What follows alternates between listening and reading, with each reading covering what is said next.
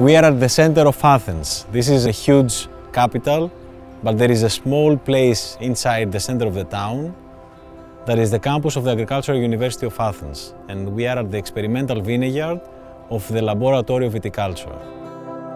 One of the main problems that we face when it comes to viticultural research is the fact that uh, we have too many grapevine varieties and under many different names.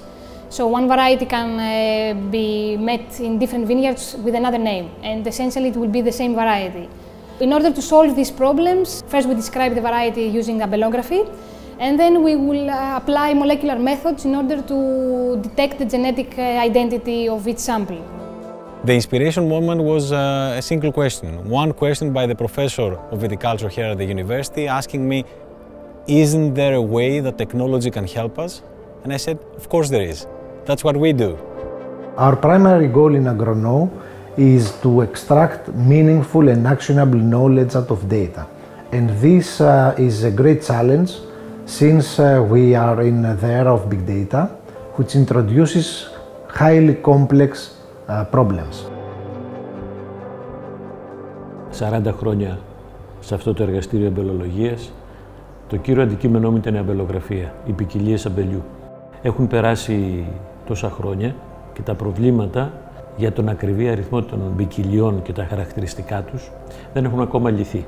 Και λύθηκε μετά από μια συζήτηση που έγινε με την Αγκρονόου, με τον Νίκο του Μανουσέλη, που του ζήτησα, όταν έκανε το δακτορικό του, να βοηθήσει να δώσουμε μια λύση στη διάκριση, την ταυτοποίηση των ελληνικών ποικιλιών αμπελιού, να μπορούμε να έχουμε ένα σύστημα και πατώντας έτσι ένα κουμπί να μας δίνει όλες τις πληροφορίες σχετικά με τις ελληνικές ποικιλίες. Να έχουμε μια ιχνηλασιμότητα και να τις βρίσκουμε στο αμπέλι και να ξέρουμε ότι μιλάμε για το αγιοργήτικο και είναι αυτή η ποικιλία. Να υπάρχει σύγκριση με τη γενετική ταυτοποίησή τους, με το γενετικό τους αποτύπωμα, να φτάσουμε σε ένα σημείο που να λέμε αυτές είναι οι ελληνικές ποικιλίε.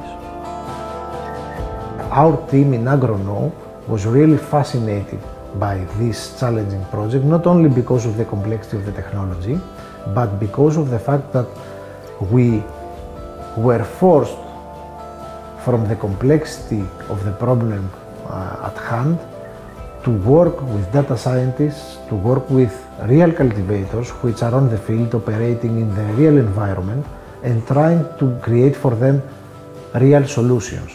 Solutions that empower them in their day-to-day -day activities. VITIS is uh, first of all an information hub. It collects and documents and organizes all the information about the Greek grape varieties. So it has all the knowledge about the phenotypic and the genetic profiles, it has knowledge about the vineyards, it has everything that you need to know around the Greek vineyard.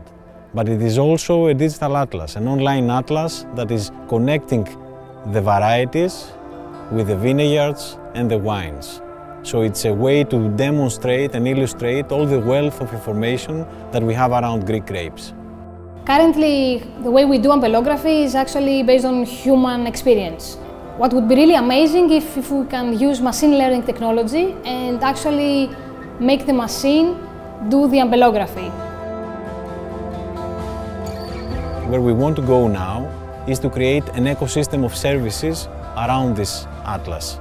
We want to build an ecosystem of companies and startups and people playing with the data, creating new ideas, creating new applications and innovating around all this information.